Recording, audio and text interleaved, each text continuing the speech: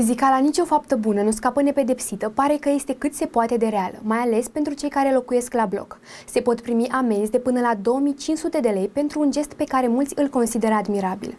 Ce nu au voie locatarii să facă în fața scării? Oamenii spun că legea este aberantă.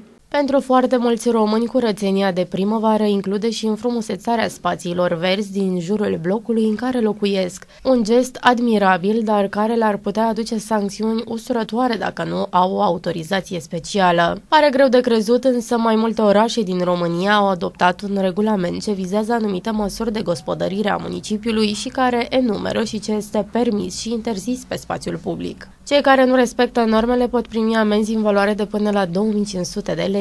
Fără o autorizație specială de la primărie, locuitorilor din Galați nu le este permis nici să culeagă de pe domeniul public plantele medicinale, fructele și iarba de gazon, nici să practice jocuri sportive pe spațiile verzi, să agase anunțuri sau indicatoare de arbori, ori să culeagă arborii doborâți în urma unor fenomene naturale sau arbori care au fost tăiați, scoși din rădăcini în cadrul unor lucrări specifice, potrivit expres expresdedunăre.ro. Legea considerată de mulți aberantă descrie și unele situații ce fac excepție de la restricții. Se precizează că pentru întreținerea spațiului verde din jurul blocului orice locatar poate contribui, dar doar după ce obține acordul tuturor celorlalți proprietari din imobil în baza unei hotărâri a adunării generale a Asociației de Proprietari, relatează playtech.ro.